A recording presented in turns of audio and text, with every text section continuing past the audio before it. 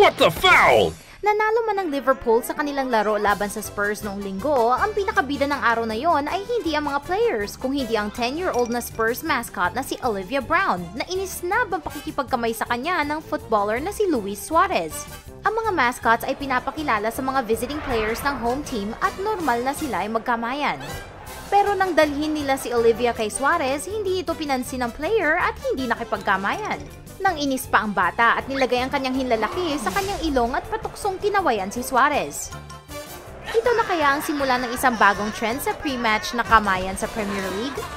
Mas marami kayang mascot ang mangiisnap kay Suarez? Kung ganon, mag-ingat dapat si Luis at maraming bata ang may matalas na ngipin. Ang tunay na storya, binigyan daw si Olivia ng 20 pounds ng kanyang ama para gawin ang pangiisnab. Olivia, dapat ay humingi ka ng mas maraming pera.